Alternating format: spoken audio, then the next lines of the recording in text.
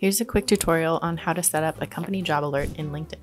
So say you want to work at Figma, find their company profile, click on jobs, and you'll see an option here to create job alert for Figma. So go ahead and create a job alert.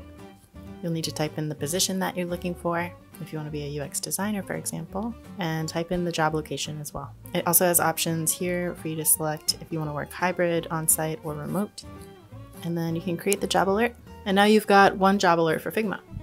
And you can go to manage job alerts to edit them or delete them or create more. And that's it.